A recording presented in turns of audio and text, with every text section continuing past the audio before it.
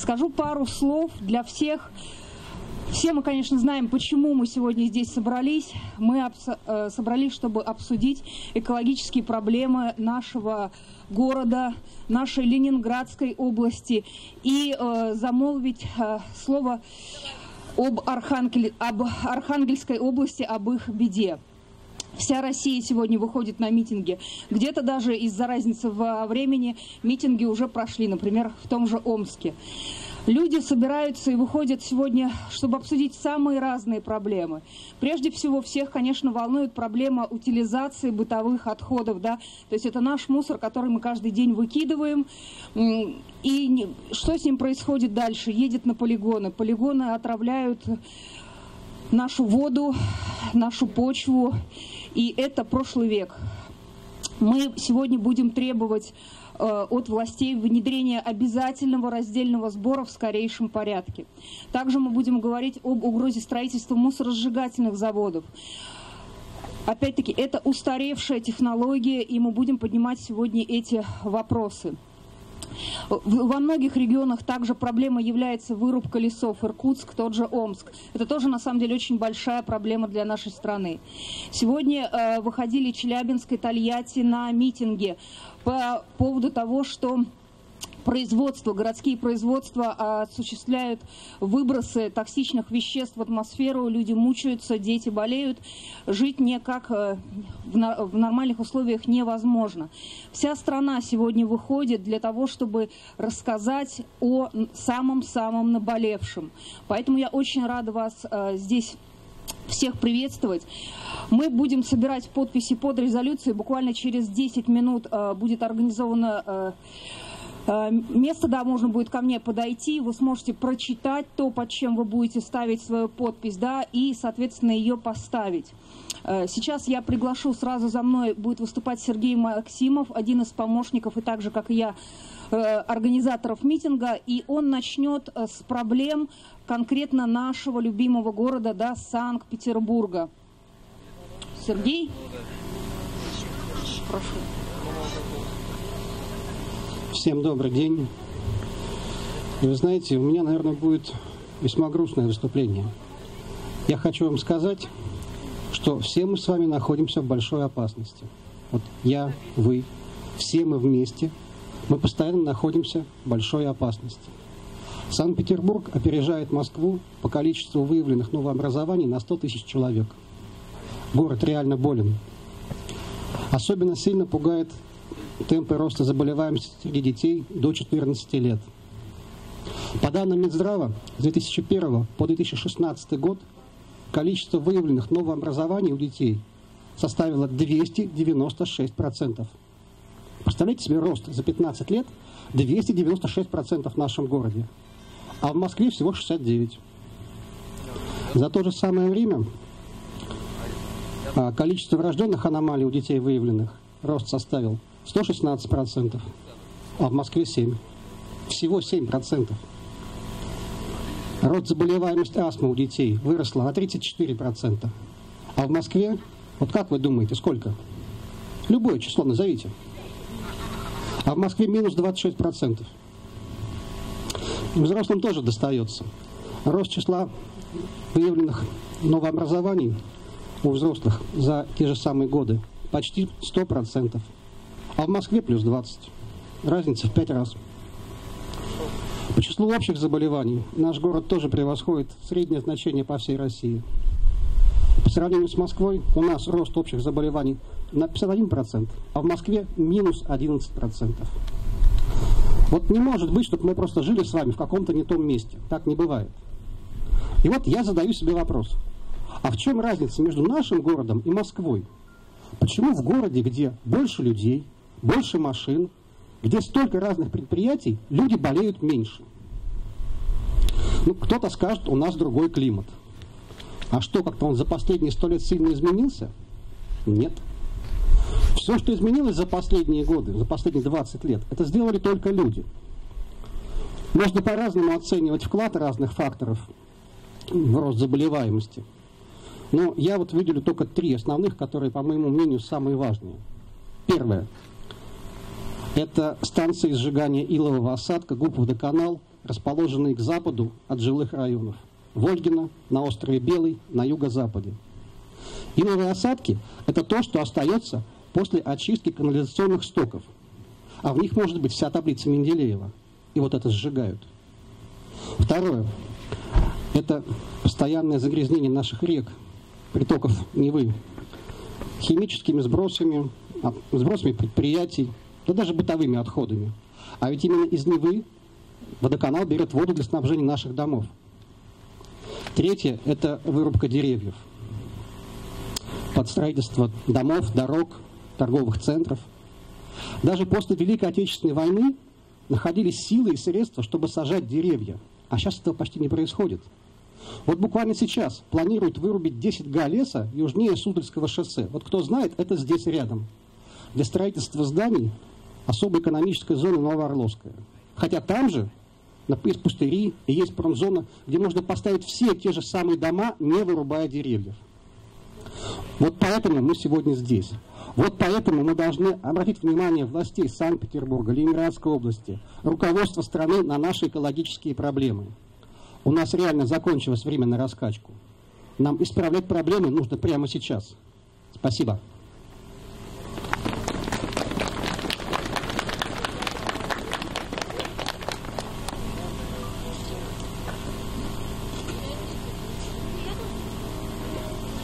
Я приглашаю на сцену а, Елену Шинкареву, а, соорганизатора нашего митинга, а также активиста, борца против строительства мусоросжигающих заводов, ну и против, конечно же, свалок на территории Санкт-Петербурга и Ленинградской области. Елена.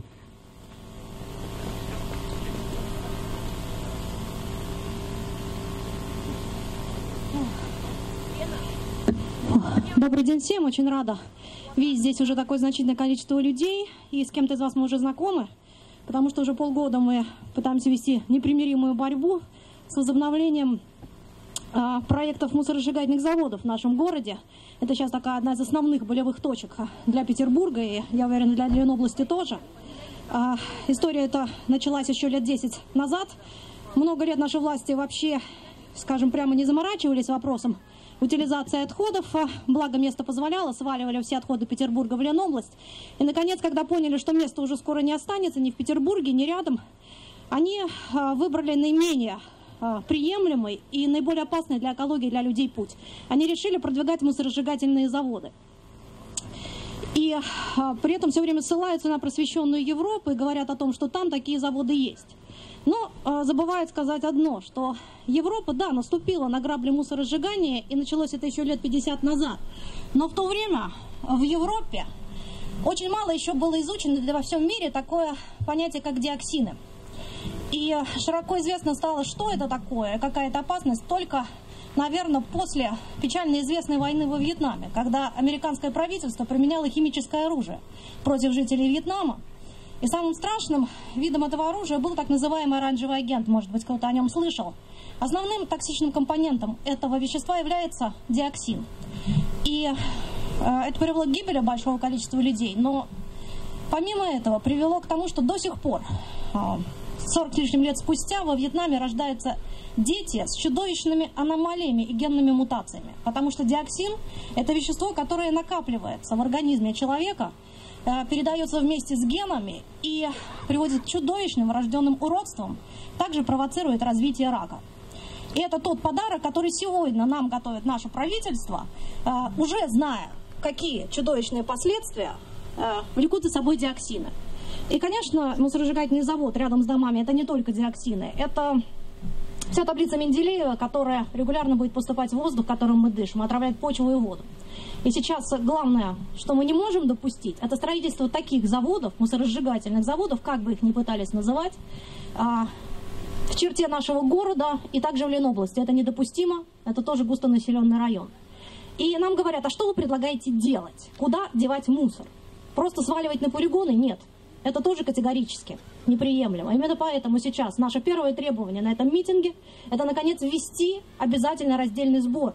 Ленобласть уже прислушалась к своему а, к своим гражданам немного, да, они уже начали это вводить, обязали регионального оператора а, к двухконтейнерной системе. Мы ждем того же, как минимум, от правительства Санкт-Петербурга. Надо, наконец, начать сортировать и перерабатывать свой мусор.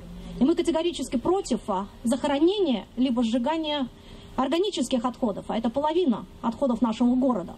Это пищевые отходы, это органика. Их необходимо перерабатывать в компост. Нам говорят, что такие технологии не рентабельны. Ну так, господа, найдите средства на то, чтобы а, поддерживать переработчиков а, органики, вместо того, чтобы строить дорогие и чудовищные по своей вредности мусоросжигательные заводы. Вот что вы должны делать. И э, последнее, что хотелось бы сказать, сейчас у нас, как мы все знаем, предвыборный год. Наверное, поэтому э, немножко больше внимания уделяется, в том числе экологическим проблемам. И здесь наверняка присутствуют господа из разных комитетов. Так вот, господа, займитесь уже территориальной схемой города, предусмотрите в ней раздельный сбор и нормальную переработку отходов, и не пытайтесь продвигать мусоросжигательные заводы. Они не пройдут ни в Петербурге, ни в Ленобласти. Граждане будут против. И если вы хотите остаться на своих постах, и показать, что вы хоть немного достойны доверия граждан нашего города, то действительно засучите рукава и делайте то, что нужно для города и для его жителей. И последнее а, обращение это к нашему временно исполняющему губернатору а, города Беглову Александру Дмитриевичу. Мы очень надеемся, что вы а, также покажете, продемонстрируете жителям нашего города в этот предвыборный год, что вы не очередной временщик, назначенный сверху, а что вы действительно хоть немного радеете за судьбу этого города и его жителей, и что вы достойны нашего доверия в преддверии приближающихся выборов. Спасибо за внимание. Да, мы действительно плохо себе представляем то, как у нас обстоят дела вот, с экологией нашего города, потому что у нас нет такой, в общем-то, понятной обычной штуки под названием мониторинг. И вот я приглашаю депутата законодательного собрания Тихонову Надежду Геннадьевну, которая как раз и расскажет вам, а как же сегодня обстоят дела с этим и как ЗАГС видит эту ситуацию. Добрый день, участники митинга. Первое, что мне хочется сказать. Партия «Справедливая Россия» поддерживает всероссийскую акцию «Экопротест». Во всей стране сейчас проходят аналогичные митинги. Каждый россиянин, каждый петербуржец имеет право на благоприятную окружающую среду. Мы знаем, что север города задыхается от вони. Это и полигон, это и иловые осадки водоканала, это и дорога, КАТ. Мы понимаем, что 85% а, выбросов в атмосферу – это автомобили.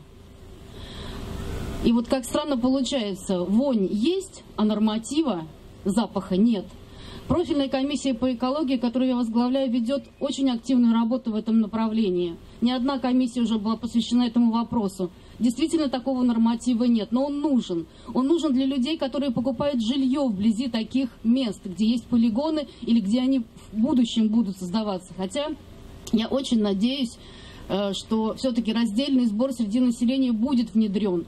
И у нас есть федеральный закон, и надеюсь, что наши органы исполнительной власти все-таки будут ему следовать. Нам нужна нормальная программа обращения с твердыми коммунальными отходами. Региональная программа. У нас ее нет в городе. Мы поддерживаем вас, мы работаем для вас. И раз мы сегодня здесь, это значит, что мы не смирились. Мы будем требовать нет уплотнительной застройки. Нам нужно сохранять те зеленые зоны, которые сейчас есть. Нет бездумному Э, бездумной трассировки э, восточно-скоростного диаметра. Я знаю, что вы боретесь за удельный парк. И нужно создавать новые территории. Новые территории также в каждом квартале. Сейчас есть очень много микрорайонов, где внутри кварталов нет ни одного зеленого клочка земли. И это печально. Поэтому мы сегодня здесь и будем дальше продолжать бороться. Спасибо за внимание, спасибо вашей гражданской активности. И еще Впереди муниципальные выборы. Хотите менять эту жизнь? Идите во власть. И идите и голосуйте за тех людей, которые работают ради людей. Спасибо за внимание.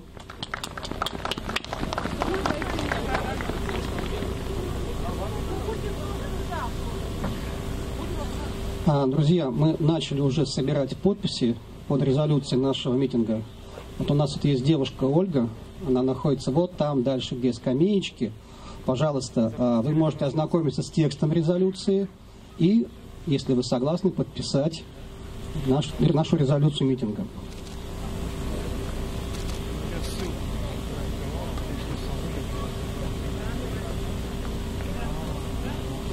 А я приглашаю на сцену еще одного представителя ЗАГСа Санкт-Петербурга, Ходунову Ольгу Архиповну.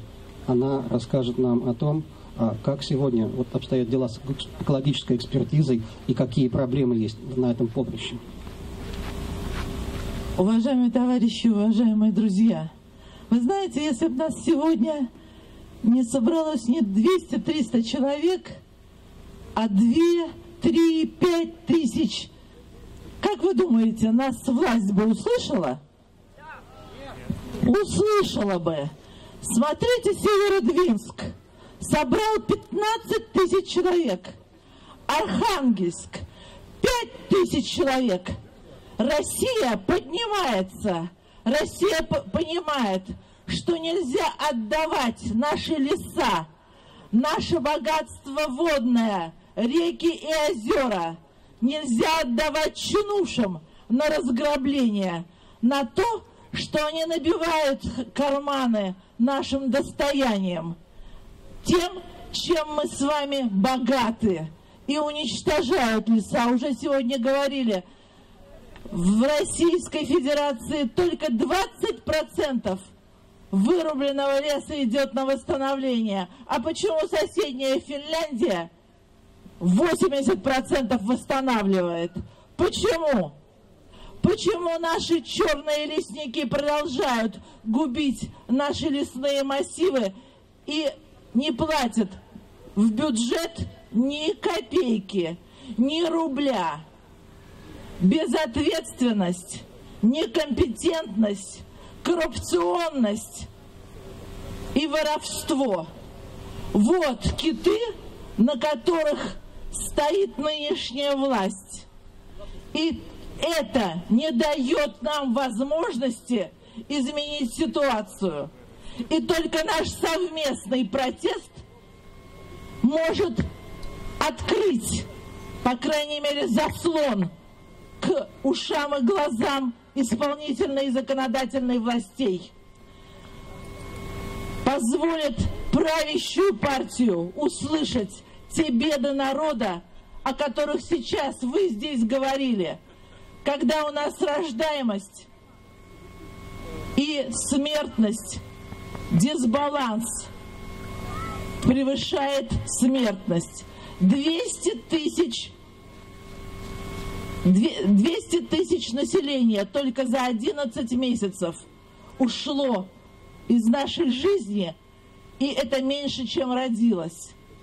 И это официальная статистика. Да, экспертизу нужно делать. Экспертизу нужно делать на каждом этапе любых проектов. А у нас есть вообще доступ к, этим, к этим эксперти, к, экс, к экспертным заключениям? Нет. Мы строим дома, мы строим заводы, мы строим перерабатывающие заводы в том числе. А экспертного заключения эффекта, что она даст, что дадут эти заводы – нам, нашей экологической безопасности, нашей природе, должен быть доступ к этим проектам. Должна быть экологическая экспертиза каждого проекта. И, безусловно, та застройка, которая ведется в Санкт-Петербурге, должна быть, ну, по крайней мере, нормативна. Может ли переварить наш город – вот эти джунгли, огромные каменные джунгли. Проблема цепляется одна за одну. Но только мы вместе сможем решить этот клубок проблем. Разработана программа Российской Федерации экологическая. Три года она якобы действует. Выделены огромные деньги. Скажите, пожалуйста, мы чувствуем результаты? Вот мы здесь мы здесь, вот я вижу чудесный э, плакат «Капиталу прибыль, народу гибель». Вот пока действует капитал, народу будет гибель. И контроль мы должны поставить и заслон на пути этого капитала. В нашем единстве наша сила. И спасибо вам за то, что вы так активно боретесь за будущее наших детей. Спасибо. Ну, а кто лучше разбирается в проблемах экологии, чем непрофессиональный эколог? Я хочу представить вам человека, который много лет отработал на этом поприще и сейчас продолжает этим заниматься. Как он себя называет? Народный эколог Сергей Грибалев.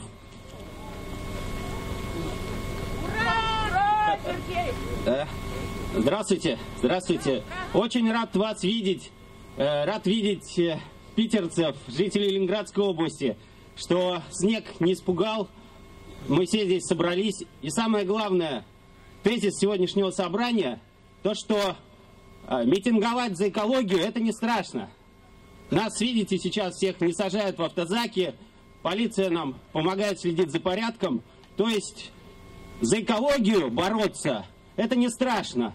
И я призываю всех питерцев, жителей Ленинградской области, чтобы мы собирались как можно больше, чтобы власть видела, что мы сплоченные, мы любим нашу природу, мы любим наш город, мы любим нашу Ленинградскую область. Поэтому мы вместе, мы едины. Едины как граждане, как гражданское общество.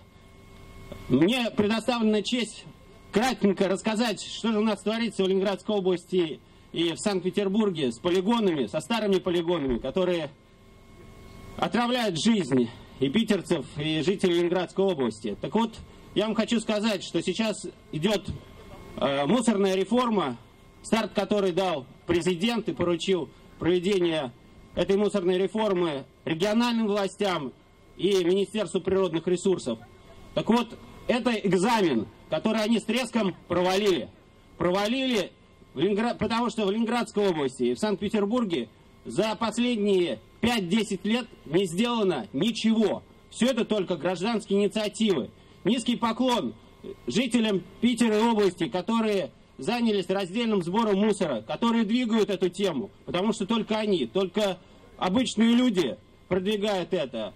Власти отмежевываются смотрят, как это все будет происходить, рассуждая, готовы или не готовы мы за то, чтобы жить цивилизованно и спасать нашу природу. В Ленинградской области сейчас выбран региональный оператор, у которого постоянно горят полигоны. Этот региональный оператор аффилирован с властями Ленинградской области. То есть они продолжают наступать на те же самые грабли. Причем это уже идет не пятый, а уже десятый раз, что говорит о их либо профессиональной неполноценности, либо об умственной неполноценности. Поэтому здесь много было сказано про выборы. Я также призываю вас на выборы в Ленинградской области. И пора, наконец, показать властям, которые сейчас управляют областью, о том, что мы не хотим жить на помойке. Ни Ленинградская область, ни Питер, это не помойка. Мы должны дышать чистым воздухом, мы должны беречь нашу природу, данную нам Богом и нашими предками. Ленинградская область пережила страшную войну, и Питер пережил страшную блокаду. Так не дадим же опозорить наш город перед нашими предками и последующим поколениям.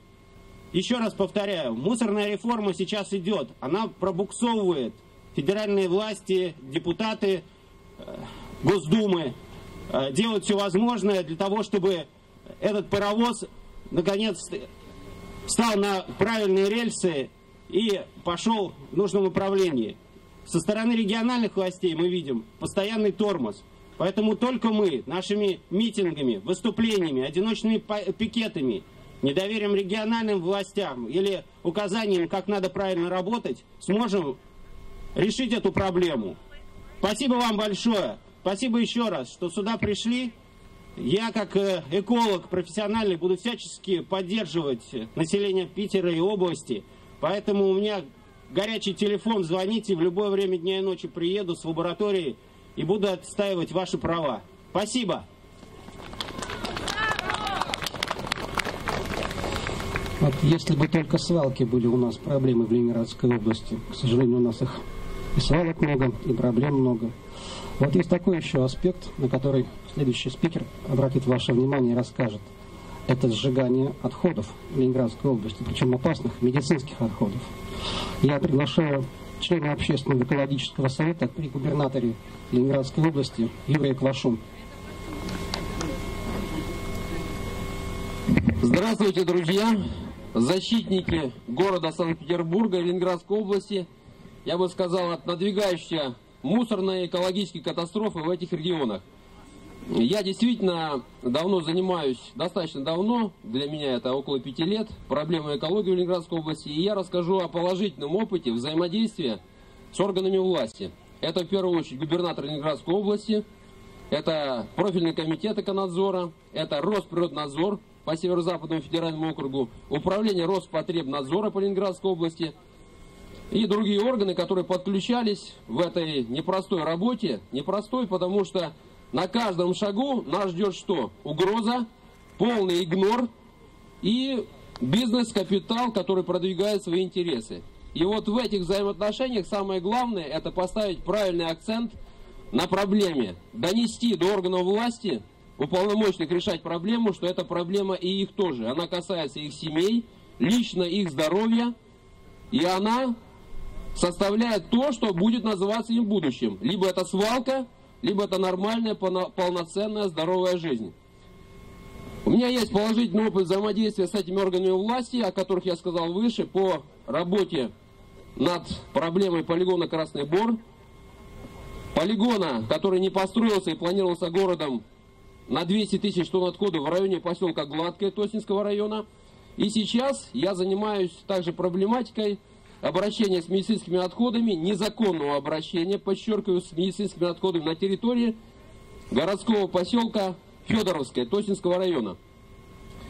Действительно, природа лечит, так сказал древний философ, известный целитель, лекарь, э, древнегреческий Гиппократ, который всегда призывал к здравому смыслу, к благоразумию человека. А врач лишь помогает этой природе.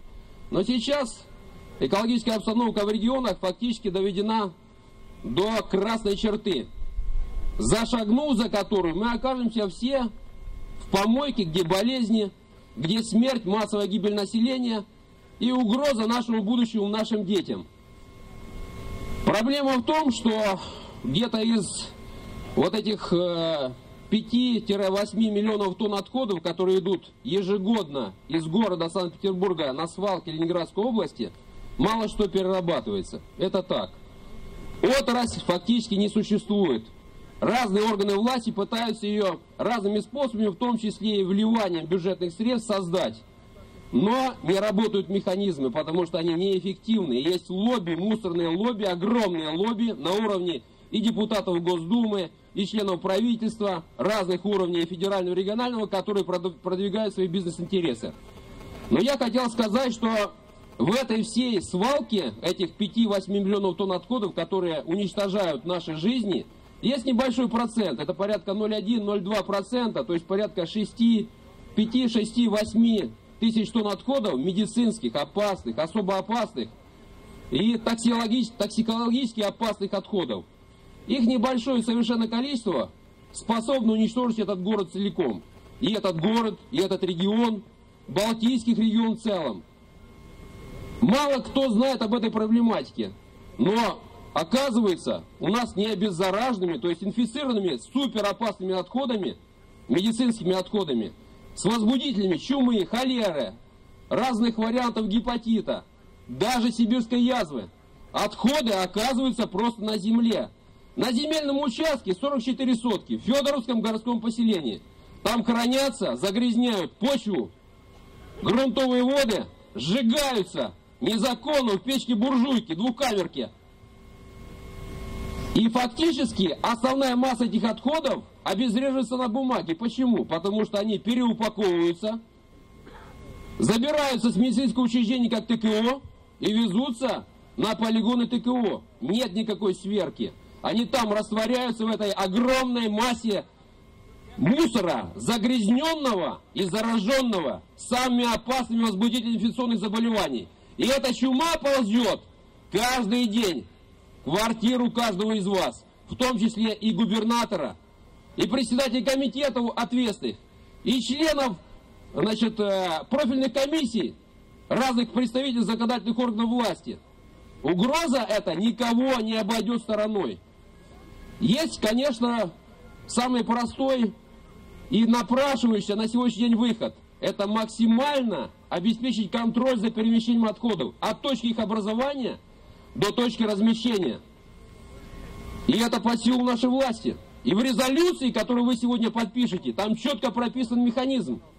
Нужно аккредитовывать организации на региональном уровне, которым можно доверить перемещение и обезвреживание этих отходов, особо опасных медицинских отходов, которые на сегодняшний день составляют большую угрозу, чем вся эта мусорная чума, которая двигается из области в виде ТКО, из города в область в виде ТКО. Поэтому только если органы власти услышат наш этот призыв, я на это очень рассчитываю, будут назначены уполномоченные органы власти, отраслевых комитетов, значит, или же, может быть, создано отдельное управление, которое будет регулировать полный цикл обращения медицинских отходов от их э, образователей до точек их размещения. Причем финансируется вот это все коррупционное действие противозаконное за счет бюджетных средств за счет средств, которые медицинское учреждение подконтрольное комитету здравоохранения Санкт-Петербурга и Ленинградской области направляют на вот эти фирмы-однодневки, которые манипулируют нашими деньгами и нашим здоровьем. И наносят вред не только окружающей среде, но и создают реальную угрозу чрезвычайной эпидемиологической ситуации на территории двух регионов. Поэтому, друзья, я скажу в заключение следующее. Никогда не проходите мимо любой свалки, любого нарушения экологического законодательства. Общественный экологический совет при губернаторе Ленинградской области в моем лице готов принять любые заявления, подключиться к проблематике территории и помочь вам уже на базе имеющейся практики рационального и э, положительного взаимодействия с этими органами власти, когда пресекались такие нарушения.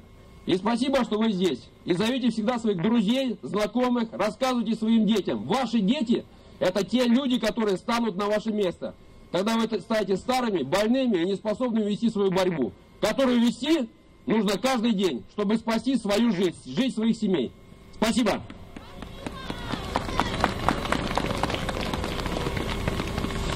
История попыток строительства сжечь что-нибудь у нас имеет очень такой э, давние, наверное, корни, долгие корни.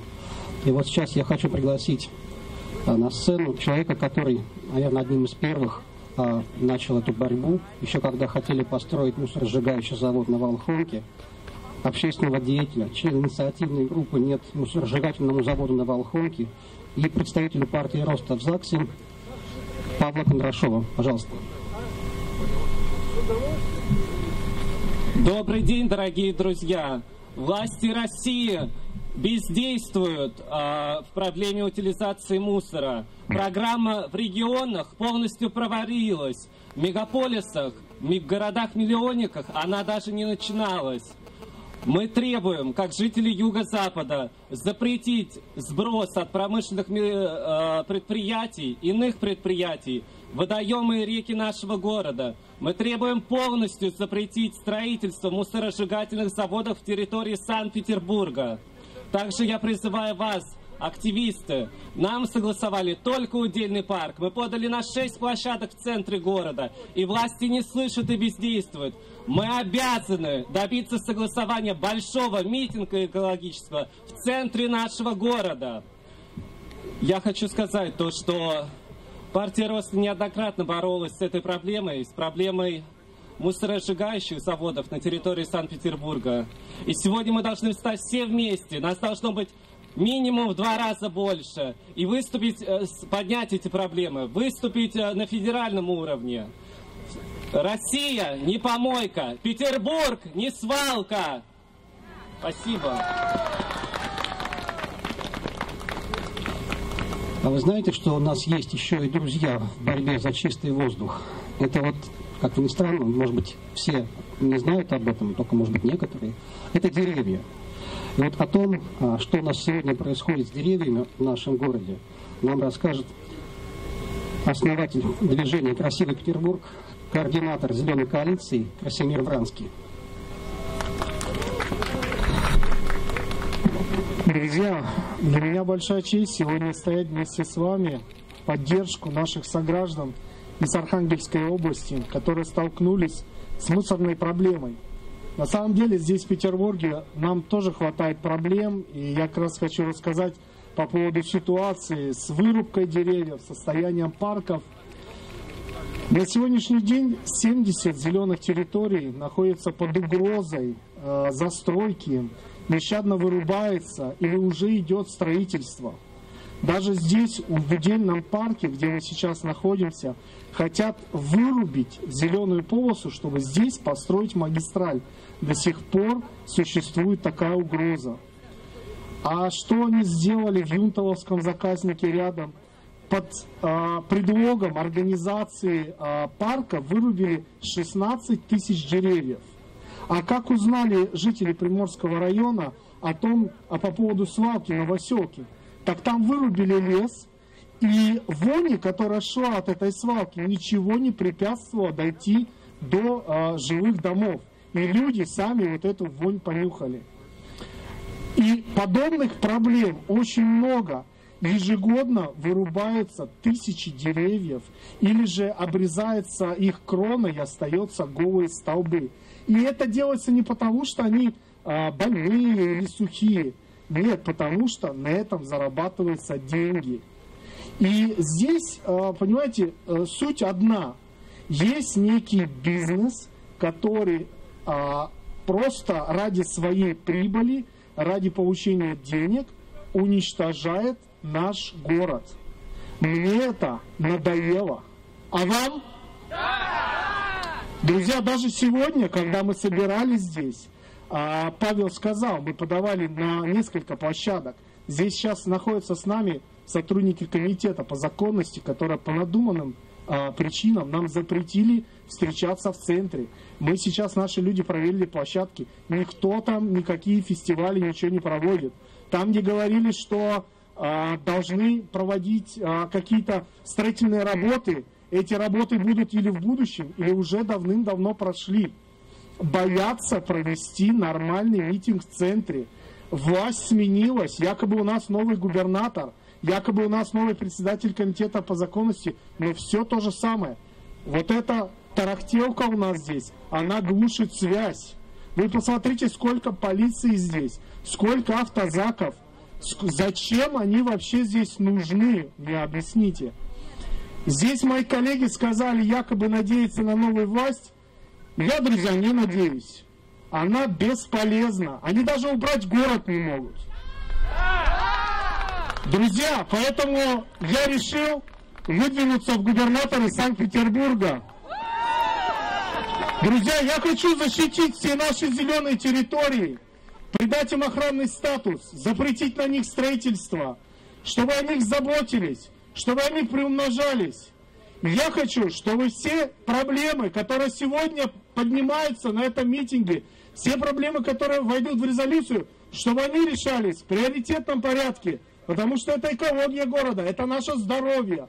Я хочу идти и решать проблемы, а не слушать обещания и запугивать нас, и куда-то свозить в леса. Вы за это? Друзья, нужно понимать, что я кандидат не согласованный. А я какое-то благословление из Кремля не получал. За мной не стоят власть имущие или какие-то олигархи. За мной стоят люди с проблемами, люди, которые хотят жить в лучшем городе. И борьба будет неравной. А, но нужно бороться, чтобы хотя бы иметь шанс победить. И для меня большая честь встать на этот путь и бороться. Петербург – наш город, и нам решать, каким он будет. Это наш город! Это наш город! Наш город! Это наш город! Друзья, спасибо вам большое. Меня зовут Красимир Вранский, и я выдвигаюсь губернатор Санкт-Петербурга. Ура!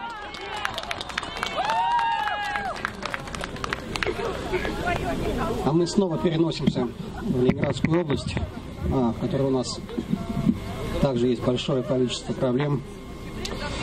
А, у нас есть такой район, все его знают, Девяткино. Район такой большой, так застроен, и в нем столько нерешенных проблем. И вот сейчас вот об этих проблемах этого района нам расскажет э, общественный активист, участник организации Совет Домкомов Екатерина Чирикова. Пожалуйста.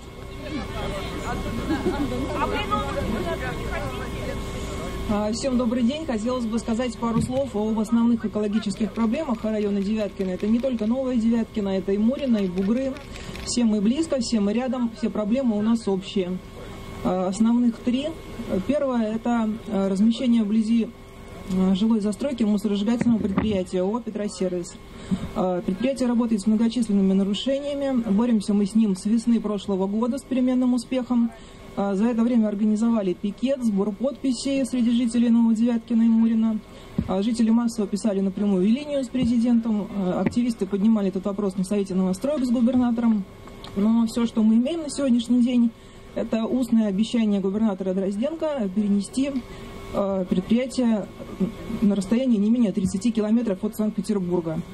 Обещание устное, то есть ну, мы ждем официальное какое-то письмо, пока дано только поручение Комитету экологического надзора с помощью УКУГИ Ленинградской области э, подобрать подходящий участок. Подберут ли его и перенесут ли предприятие, мы пока не знаем. Подобрали, к нам хотят везти. Вот к нам собираются, 30 километров как раз. Это не, нет, у вас другое. А, второе – это отсутствие в Новом Девятке очистных сооружений. У нас а, старый фонд не обеспечен подключением к очистным сооружениям, а, и сброс неочищенных стоков производится на рельеф. На рельеф это означает Капралев ручей, дальше Вохту, Неву и Финский залив. Новые дома у нас подключаются к очистным сооружениям Государственного института прикладной химии в Капитолово. Уже много лет говорят, что они исчерпали свои ресурсы и новые дома туда подключать нельзя. Тем не менее, каждая новостройка которая не может быть сдана в эксплуатацию без э, подключения формального на бумаге качественным сооружениям, у нас именно на бумаге, как жители в основном считают, подключаются именно к ним.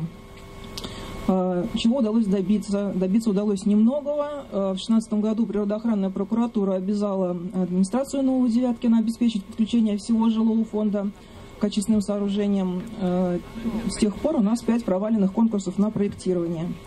И на сегодняшний день поэтапная разбивка проектировочных и строительных работ с конкретными сроками. Согласно ей, э, очистные сооружения должны быть сданы в эксплуатацию в третьем квартале 2022 года, э, но только вот сейчас, в феврале, должен быть сформирован участок под их размещение, то есть пока нет даже участка. И третья проблема – это общая российская проблема – несанкционированные свалки. У нас с весны прошлого года жители массово жаловались на систематические задымления в вечернее ночное время, запахи жженой резины, пластмассы, и в мае э, были обнаружены э, три крупных места сжигания отходов в лесополосе вблизи промзоны Северный ТЭЦ. Э, с тех пор администрацию Нового Девяткина обязали провести рекультивацию этих свалок и ограничить подъезд грузового автотранспорта. Что было сделано? Была проведена имитация рекультивации и бумажный отчет об исполнении работ. Подъезд автотранспорта был частично ограничен, но туда продолжают и по сей день свозить мусор и жечь его там. А, что мы требуем? Мы требуем э, проведения полноценной рекультивации свалок и размещения во всем известных местах сброса и сжигания мусора фотоловушек для фиксации э, в режиме онлайн нарушений, чтобы можно было наказывать нарушителей, а не писать нам бесконечные отписки, что да, мы знаем, мусор к вам привозят, его там жгут, кто это делает, мы не знаем. Пора узнать. Вот, ну, это основные три проблемы моего района.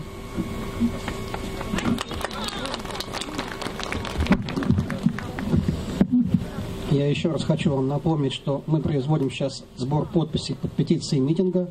Пожалуйста, вот там около скамеечек есть девушка, у нее есть распечатанные материалы. Знакомьтесь, читайте, задавайте вопросы и подписывайте. А мы дальше идем по Ленинградской области.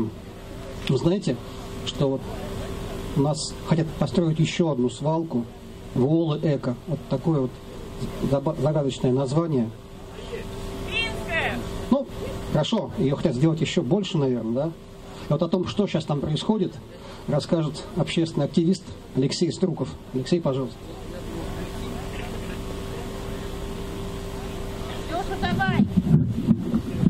Всем добрый день. Мы жители деревни Гарбово Всеволожского района – ближайших населенных пунктов в сердце Ленинградской области Карелийского перешейка против строительства полигона в Лоу-Эко. Пользуясь случаем, призываем Росприроднадзор по Северо-Западному федеральному округу не принимать положительного решения по государственной экологической экспертизе, которая проходит в данный момент, по проекту потенциально опасного полигона ДБО ВО «Эко» в полутора километров от школы деревни Гарбова на 400 учащихся. По проекту, который не прошел публичное общественное слушание в августе 2018 года во Всеволожске. По проекту, который умышленно не предоставляется организации, проводящей общественную экологическую экспертизу от нашего лица. Но мы не просто против полигона УЭКа близ Гарбова. Мы против появления и эксплуатации подобных объектов в любом месте. Мы против существующих устаревших принципов оборота и обращения с отходами, халатности причастных органов, латентности и самих граждан в том числе. Мы против нынешних принципов появления отходов, против принципа производства экономической выгоды, невзирая на отрицательную экологическую составляющую и ответственность за нее. Мы за внедрение раздельного сбора отходов в каждом дворе. Мы за целенаправленную пропаганду населения и плановое воспитание молодого поколения в направлении экологии и охраны окружающей среды. В данный момент нужно понять, что только проявив активную гражданскую позицию и, безусловно, действия, мы сможем преодолеть совместно, подчеркиваю слово совместно, с органами исполнительной законодательной власти нависшую глобальную проблему сегодня и ее возможные последствия, уже которые имеют место быть и могут расти только в геометрической прогрессии. Завтра будет поздно, нас просто не заметит в горе, в, в горах нашего мусора. Задумайтесь, какой мир мы можем передать нашим детям. И какие, как мы можем ответить на вопросы, как мы смогли это допустить. Если вас не затронула эта проблема, то это только пока. Если, будет, если не будет экологии, ничто уже не спасет. Будет экология, спасем всех. Экология – это наша жизнь, поэтому этот митинг за жизнь. Нет полигона с лаком, мусоросжиганию, да переработке раздельному сбору. Спасибо.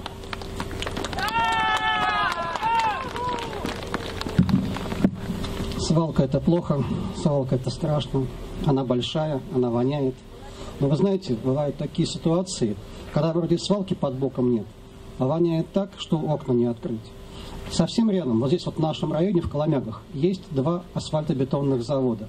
И вот о том, как жители пытаются с ними бороться, сейчас расскажет Наталья Скобкина, адвокат, член Спасской коллегии адвокатов Санкт-Петербурга. Пожалуйста.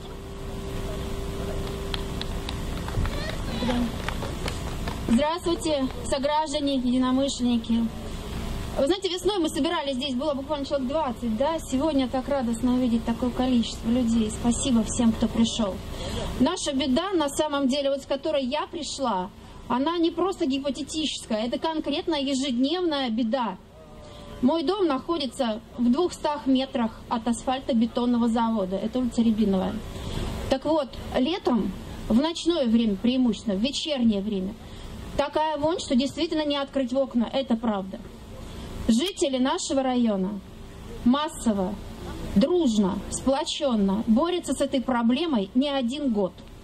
В 2015 году вице-губернатор Албен пообещал к весне 2016 года перебазировать это предприятие. С тех пор будет четвертая весна, Асфальтобетонные заводы как стояли, так и продолжают стоять. Минуточку. Это второй класс опасности. Представляете? Когда в городе разрешено только до четвертого класса опасности, у нас предприятие второго класса опасности находится в непосредственной близости от домов, где мы живем. По Санпину защитная полоса, санитарно-защитная полоса должна быть не менее 500 метров, причем наполовину озелененная. Почему-то, каким-то образом санитарное заключение было дано с разрешением сократить эту санитарно-защитную полосу до 90 метров. 90 метров! И от жилых домов 200 метров. И причем там вырубили половину даже тех лесов, которые были в 2007 году, когда это санитарное разрешение было получено. На сегодняшний день, по сравнению с 2007 годом, увеличилось более чем в 15 раз количество выбросов с этих АБЗ. То есть на сегодняшний день порядка 350 тонн в год разрешается выбрасывать отходов. Из них большая часть уходит в воздух в виде пыли, в виде фенолов, бензопиренов. Бензопирен – это первый класс опасности. Представляете, это страшнейший канцерогенный химический элемент, который вырабатывается в результате продуктов горения нефтепродуктов. И вот с этим мы живем. Так самое интересное, что все вот эти страшные показатели воздуха у нас даже не замеряются. У нас рядом стоит метеостанция, на которой замеряется совершенно небольшое количество показателей, которые, кстати, даже в этой ситуации превышают, например, по фенолу доказано превышение ПДК в 6, иной раз в 40 раз фенол, доказанные превышения. И вот э, когда мы пытаемся обратиться, нам говорят, а зачем вы покупали там квартиры?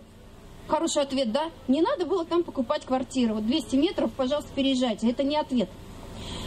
На сегодняшний день, насколько известно, рассмотрено уже порядка 63 площадок для переноса вот этого завода АБЗ-1, АБЗ-ВАТ. Ну, ни одна из них, из этих площадок не подошла, потому что нет соблюдения 500-метровой зоны. А мы живем в 200 метрах. Завод Чупа-Чупс прямо граничит с АБЗ. Прямо граничит пищевое производство. Детские сады, школы. И все мы в этом живем. Так, самое интересное, я сейчас скажу. 7 ноября 2018 года арбитражным судом было принято решение о том, чтобы продать в пользу АБЗ-1 землю, на котором она стоит по цене, минуточку, 20 миллионов рублей за 3 гектара земли. У нас земля стоит миллион сотку, в среднем рыночная, рыночная стоимость. Аналогичные земли промышленного значения по кадастру стоят 300 тысяч рублей сотку, недалеко тоже в черте города. По какой-то причине кадастровая стоимость той земли, которую покупает АБЗ-1, 67 тысяч рублей за сотку. А нет ли здесь коррупционной составляющей? Органы правоохранительные, прокуратуры. Вы наверняка будете смотреть наш митинг. Проверьте, пожалуйста, законность вот этих вот решений. 28 января операционная станция засилила это решение. Теперь город вынужден будет продать эту землю вот по такой цене. 67 тысяч рублей сотку. А минуточку, этот асфальтобетонный завод, частично эти земли заходят в рекреационную зону, зону отдыха зону отдыха населения, оздоровительную зону. И вот на этой рекреационной земле будет стоять асфальтобетонный завод. Он и так стоит, но теперь он там будет стоять еще и на праве собственности.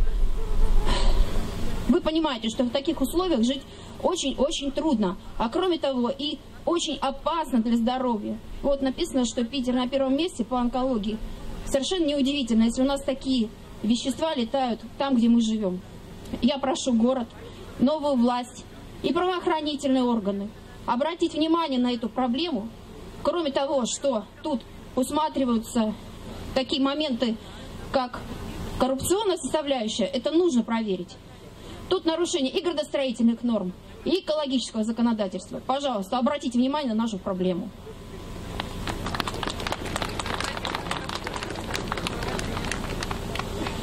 А я напомню, что один из поводов, по которому мы сегодня собрались, это поддержать митинги по России – в том числе и в Архангельске. В Архангельске,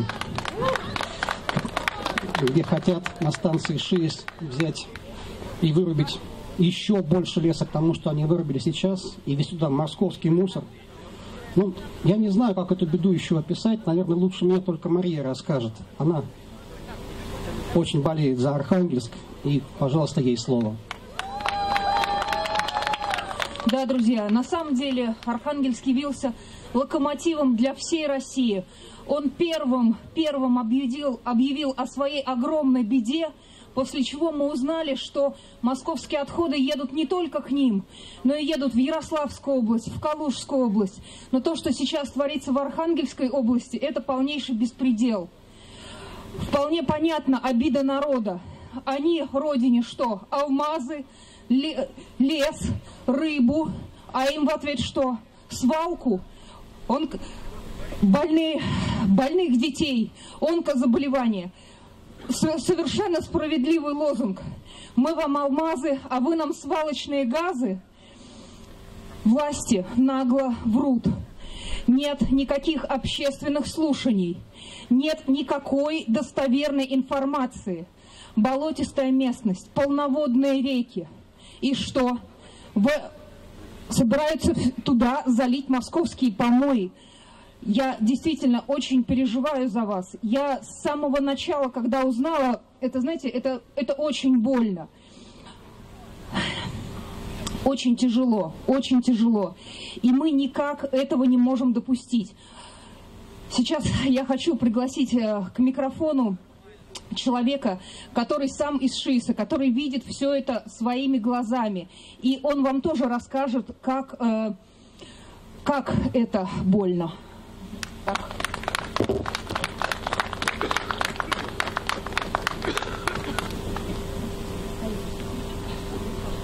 Уважаемые участники митинга, здравствуйте. Меня зовут Татьяна Соколовская. Я родилась, я приехала из Архангельска, но я родилась и выросла селе, селе Яринск Ленского района. Это буквально в 30 километрах от Урдамы и от Шиеса, где сегодня ведется строительство а, мусорного полигона для размещения там отходов из Московской области. А, ужасная стройка. 5 января мы э, с группой активистов из Архангельска и Северодвинска ездили на ШИЭС. Своими глазами видели масштабы вот этих вот гор, площадок, э, объектов капитального строительства, дома, вертолетная площадка, какие-то бункеры, которые строятся, неизвестно, что туда будет размещаться и заливаться. Жуткое зрелище. Что и какие площади еще будут э, захвачены под эту территорию? Местность заболоченная. Э, глубина э, поверхностных вод до полутора метров. Э, более того, согласно данным государственной геологической экспертизы, проведенной выложенной в открытом доступе по всей России, это территория, где с местами залежания, залегания залежей торфа до 6 метров. Представляете, когда э, сгруженные брикеты мусора будут уложены, начнут гореть, какая катастрофа может э, постичь весь север. Это не говоря о том, что уже фильтраты, которые будут выделяться от пакетов, э, брикетов мусора, они все э, в силу того, что это э, там берут начало много э, мелких речек, впадающих в Ичигду, далее в Северное Двиное Баренцево море, море, все это, вся эта гадость, фенолы, отрава, свалочный газ, сероводород, диоксины, они все будут и так отравлять людей. Сегодня население наше, я тороплюсь, извините, население нашего района по онкологии в три раза превышает в целом уровень по всей области. И еще хочу сказать, э, средства массовой информации э, безобразным образом искажают реальную картину и обстановку того, что происходит на ШИЭСе. Они представляют, что э, только маленькая кучка как они называют нас, как назвал нас губернатор Орлов, э, это политических бузатеров, которые будоражат все. Неправда, не верьте этому. Весь район, вся область протестует против того, что творится сегодня на станции ШИЭС. Власти и средства массовой информации нагло искажают реальную картину происходящего. Э, публикуют гнусную ложь об участниках инициативной группы «Чистая Урдама». Я лично, э, поскольку там выросла, жила до 2002 года, я лично знаю каждого из участников инициативной группы. Это уважаемые, достойные люди. Не верьте э, ни одному слову, которое публикует РЕН-ТВ, «Комсомольская правда», все то, что было сейчас выложено в сети а, об этих людях, о Светлане Михайловне Бабенке, это ложь. Э, давайте будем вместе, мы едины. Сегодня по всей Архангельской области проходят митинги, и там, э, там голосуют и принимают резолюции не только за Архангельскую область и за ШИС, но переживают и за Москву, и за Питер, и за Тамбов, и, и за Костромскую область, за Коломну, абсолютно за всех. Так что будем едины. Только когда мы вместе, мы сможем победить, победить этот мусорный коллапс, эту мусорную мафию. Да! да! Спасибо за внимание.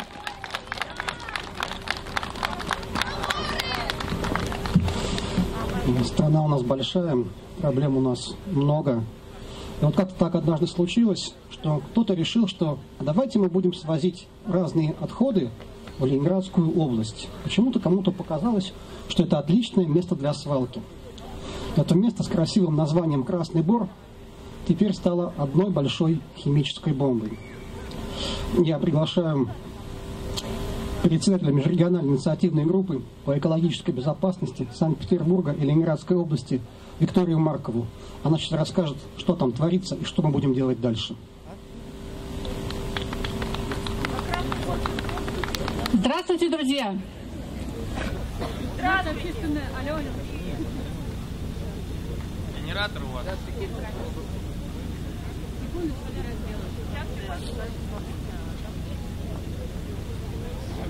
Почему-то именно на полигоне Красный Вор всегда происходит авария.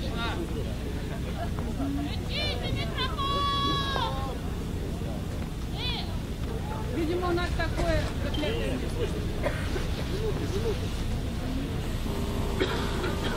Почему-то именно на полигоне Красный Бор всегда происходят аварии. Вот и опять. Наша общественная организация занимается проблемой, наверное, самого страшного полигона в России, полигона Красный Бор. Там хранится 2 миллиона тонн отходов химических производств, самых опасных отходов с первого по четвертый класс. И наш полигон, страшно сказать, существует полвека, 50 лет.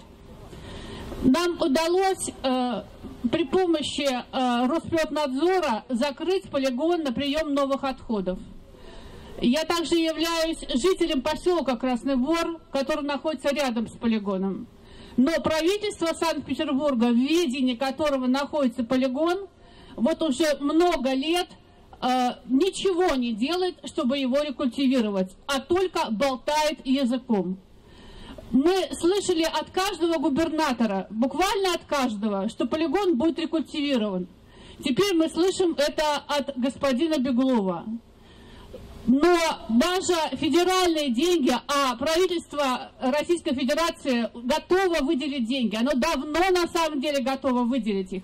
Даже деньги не, мож, не могут взять наши горе-чиновники Санкт-Петербурга. Для этого нужно сделать инвентаризацию отходов, а они даже не знают, что у них накоплено, 2 миллиона отходов, документы утеряны. Нет ни инвентаризации отходов, нет ни геологического обследования полигона, нет ни проекта рекультивации.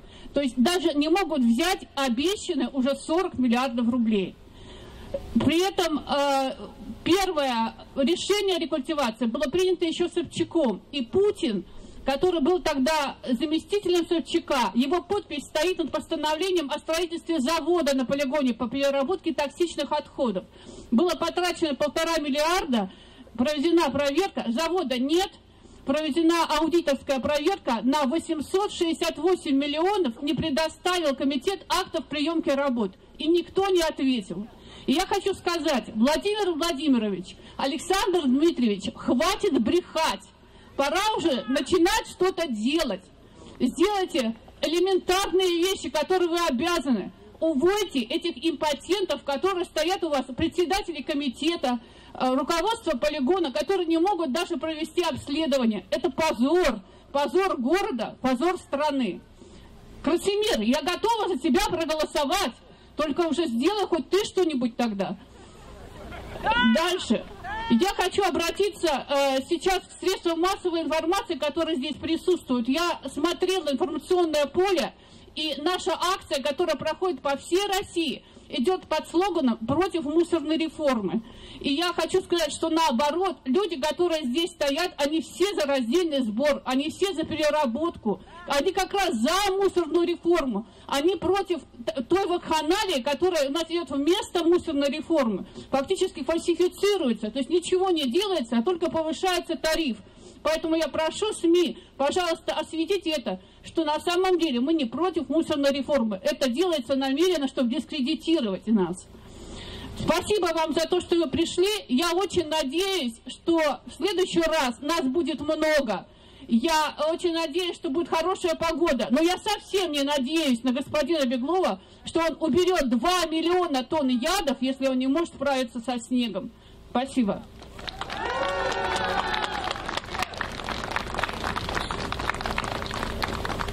Жидкие отходы это вообще, конечно, беда, наверное, хуже них только газообразные. Вот вода такой удивительный природный феномен. Когда она чистая, она несет с собой жизнь. Когда она грязная, зараженная, да, она несет с собой болезни и смерть. И вот я приглашаю на сцену члена движения «Открытая Россия» Дарью Виноградову, которая расскажет нам о том, как же у нас мало осталось чистой воды питьевой.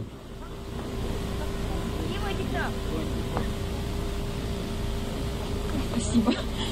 Здравствуйте, друзья и коллеги. Сегодня моя тема вода, как ни странно, ее очень много вокруг нас.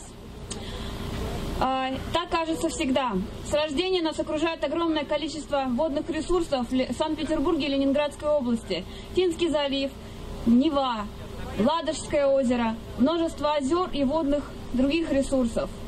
Но все ли они чистые? Достаточно ли нам той воды пресной, которая имеется у нас на данный момент, чтобы нормально жить?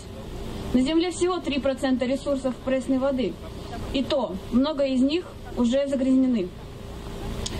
А, э, цивилизация у нас постоянно эволюционирует. Соответственно, появляются новые какие-то э, частицы, которые невозможно в биосфере очистить самостоятельно, одним из которых является пластик.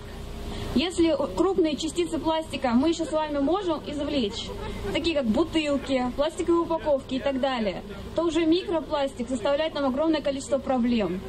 Знаете ли вы, что недавно было опубликовано Институтом озероведения РАН о том, что в Ладожском озере на данный момент в каждом литре воды присутствует как минимум от нескольких микрон до 5 миллиметров микропластика. Что это для нас представляет, спросите вы? Представляет огромную опасность для нашей жизни, поскольку мы в эту воду, дорогие друзья, пьем. В первую очередь пьем. Она нужна нам для жизни. А, э, далее частицы попадают, соответственно, в почки. Представляете, что такое, когда микропластик попадает вам в почки? Он там копится. А далее это, извините меня, прямой путь на операционный стол. Раньше времени, возможно, для многих. Далее, второй э, вопрос, который можно поднять сейчас, и остро он стоит с приближающейся весной, это сточные воды. Совсем скоро у нас потепление, совсем скоро э, с помоек, со стоков и свалок потекут в реки огромное количество э, воды, наполненной отходами. Соответственно, что мы предлагаем с этим? Мы предлагаем обратить внимание на контроль за э, различными свалками, за э, полигонами, за э, предприятиями на тему того, чтобы они на тему того, чтобы они контроль, э, мы э, способствовали контролю. Мы э, должны контролировать то, что происходит на этих заводах, иначе нас ждет с вами еще больше коллапс, чем имеется на данный момент. А в заключение э, выступления хотелось бы, наверное, сделать акцент на том, что, дорогие друзья, все в наших руках. И все в руках наших детей. Нам необходимо работать над просветительской повесткой, рассказывать, почему нам необходимо производить раздельный сбор мусора, рассказывать, зачем нам сажать деревья, зачем нам защищать свой родной дом от посягательств различных людей, которые э, не понимают, э, для чего мы это все с вами делаем. Все в наших руках, также и наше будущее. Большое спасибо.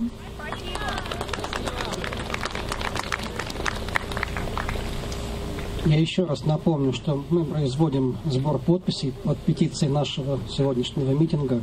Кто еще не подписал, пожалуйста, идите, подпишите, почитайте. А у нас есть еще одна, не последняя, конечно, проблема, может последняя на сегодня, которую мы успеем осветить за отведенное нам время – у нас под боком есть Ленинградская атомная станция. И у нее есть тоже свой набор проблем. И вот об этом нам расскажет член регионального совета партии «Яблоко» Дмитрий Горохов.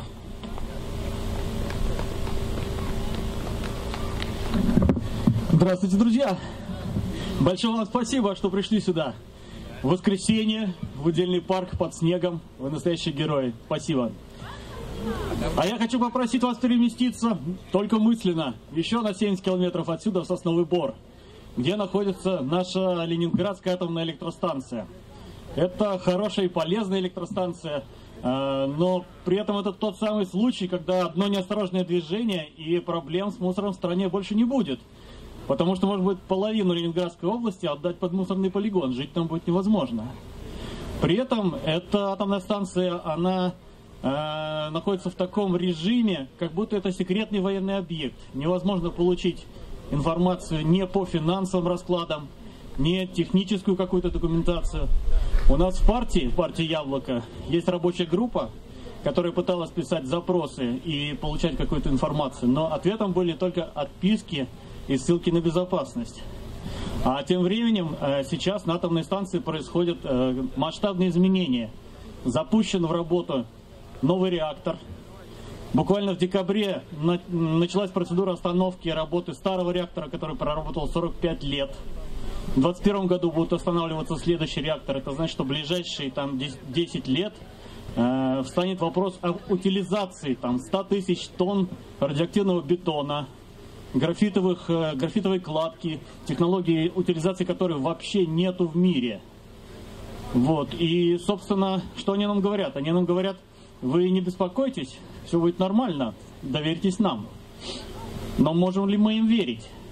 Если у нас в стране воруют на строительстве, на вывозе мусора, да на школьных завтраках, можем ли мы быть уверенными, что вот конкретно в этом месте у них все хорошо? Можем ли мы быть уверены в том, что эти 100 тысяч радиоактивных тонн бетона не будут вывезены в соседний лес и не похоронены там, завернутые в пластик? Поэтому мы требуем общественного контроля за деятельностью Ленинградской ЛАЭС. И я хочу обратиться к руководителю администрации президента Сергею Кириенко. Сергей Владимирович, я обращаюсь к вам. Когда вы были руководителем Росатома, под вашим руководством был составлен документ «Положение об общественном контроле в атомной области». Но когда вы покинули это место, документ был положен под сукно. И я прошу вас, пожалуйста, оторвитесь на время от ваших важных государственных дел, отложите тот большой железный ключ, которым вы затягиваете гайки, и добейтесь того, чтобы этот документ был принят. Также Россия подписала конвенцию СПО, которая требует э, участия соседних стран в аудите на ранних стадиях всех э, проектов, связанных с возможными экологическими проблемами. Также Россия э, подписала эту конвенцию, но не ратифицировала ее. Также Россия не подписала Архузскую конвенцию, которая предусматривает э, публичность касательно всех компонентов сложной э, экологической обстановки. Вот. Ну и, наконец, я хочу немножко сказать об удельном парке, где мы сейчас находимся. Это совершенно чудесное, чудесное место, это культовое место для всех организаторов митингов, потому что именно здесь и только здесь власть разрешает нам проводить эти самые митинги. Сюда посылали митинги Навального, митинги против пенсионной реформы, и сюда же послали и нас. Потому что власть понимает, что любой митинг за экологию – это митинг против власти. И если власть нас не слышит и говорит, идите в удельный парк, давайте самим становиться властью. Этой осенью у нас пройдут муниципальные выборы. И я уверен, что каждый из присутствующих сегодня здесь гораздо лучше подходит на роль муниципального депутата, чем любой единорос. Я призываю вас, выдвигайтесь, становитесь властью и боритесь за Петербург. Спасибо.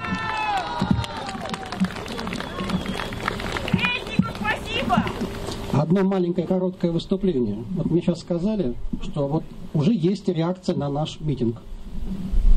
Друзья, вот только вы крикнули про проблему экоулы, сразу отреагировал губернатор Ленинградской области, прислал сообщение. Полигона на экоуле не будет. Поэтому благодаря вам это уже случилось. Это обещание губернатора Ленинградской области Александра Дрозденко. Вот оно здесь записано. То есть власть реагирует на адекватные, четкие протесты, которые направлены на защиту интересов вас, граждан Ленинградской области и Санкт-Петербурга. Я же представляю. Я член экологического совета при общественного экологического совета при губернаторе Ленинградской области. Кваша Юрий Николаевич меня зовут.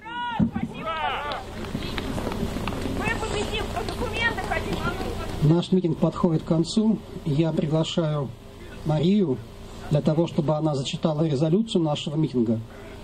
Греться. Может, может. Сбегаю тогда за ней. А, друзья, сейчас, да, Сергей поможет, пронесет резолюцию. Еще раз извиняюсь. Подписи будут здесь, сейчас после окончания выступления а, подписи еще можно будет а, записать.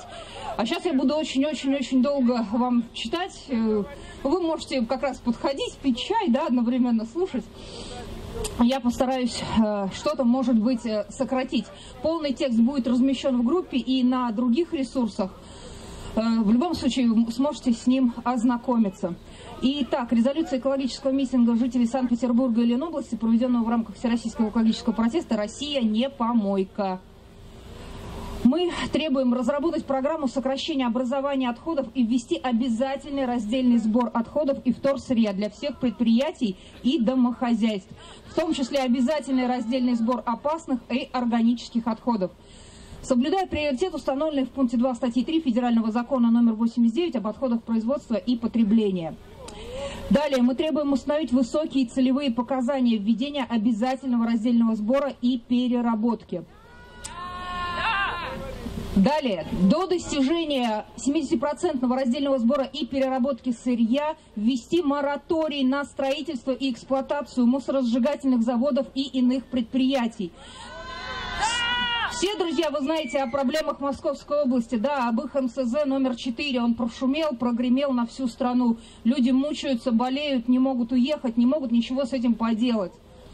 А, далее, мы требуем отменить постановление правительства Российской Федерации 28 февраля 2017 года номер 240 об изменении и признании утрачившими силу некоторых актов правительства РФ по вопросам использования возобновляемых источников энергии. Распоряжение номер 2, 2, э, распоряжение от 28 февраля 2017 года 354 и 355 как противоречащие федеральному закону номер 89 об отходах потребления и производства. Э, если коротко об этом можно сказать, мы требуем отменить господдержку мусоросжигательных предприятий. Это вот, ну, если совсем коротко. Э, мы требуем расширить список опасных отходов, требующих специального обращения.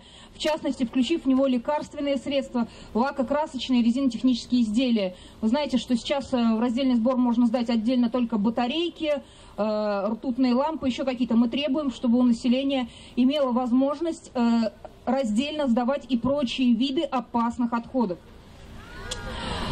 Также э, очень э, сильный пункт – усилить контроль за оборотом опасных медицинских отходов и прекратить практику их передачи третьим лицам, не имеющим возможности обращения с опасными отходами. Это то, о том, чего, о, том, о чем сегодня говорил Юрий Кваша, да, о том, что у нас на федеральном и региональном уровне проблема утилизации медицинских отходов не решена.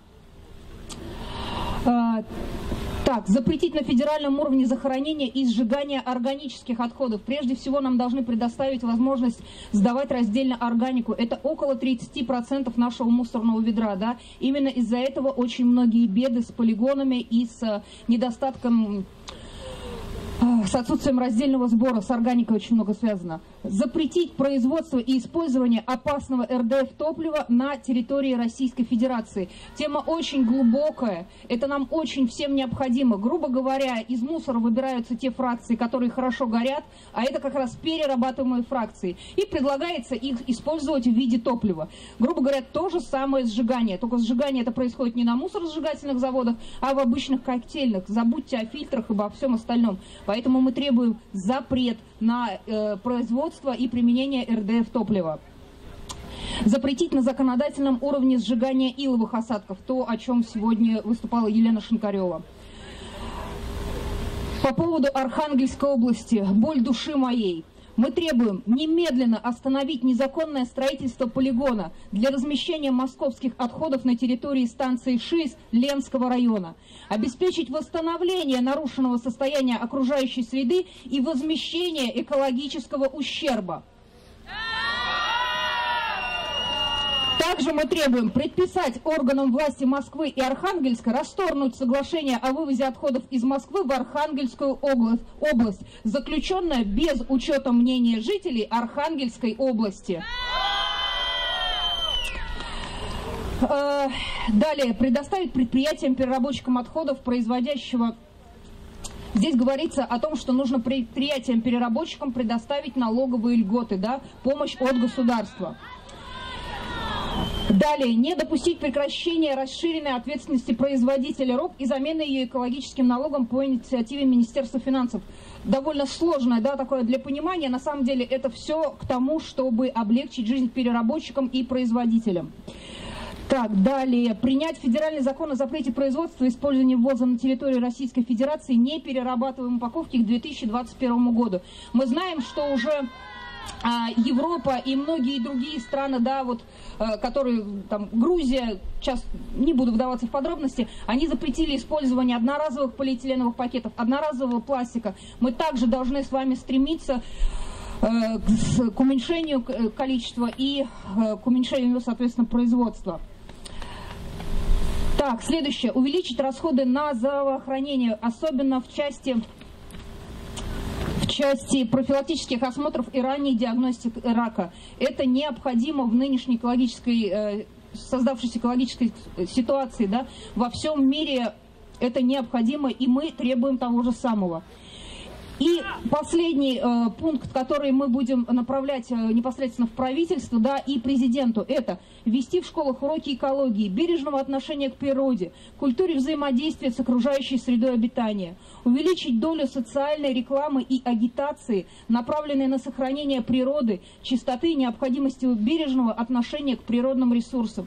Все мы знаем, дети наше будущее, и мы должны воспитывать их правильно. И мы также хотим, чтобы и власти нам в этом помогали. Далее, здесь будет большое количество пунктов, которые посвящены именно Санкт-Петербургу и Ленинградской области. О них вы сможете отдельно ознакомиться в резолюции. Очень здесь много, долго читать. Но это именно требования о конкретных предприятиях, о конкретных статусах земельных участков и так далее, которые сегодня на митинге мы оглашали. Да, то есть э, Волы, Эко отдельно, о водоканале отдельно. И далее мы это будем разжирать э, отсылать эти обращения за вашей подписью также в региональные органы власти. Закрываю. Друзья, вам спасибо большое, что, несмотря на погоду, вы все пришли. Я искренне благодарна всем и каждому. Я обязательно еще также напишу об этом письменно, вы сможете прочитать. Спасибо большое, что выдержали все это. Пожалуйста, грейтесь. На этом наш митинг я объявляю закрытым. Всем вам большое-большое спасибо. Россия! Россия не помойка! Россия не помойка! Россия не помойка!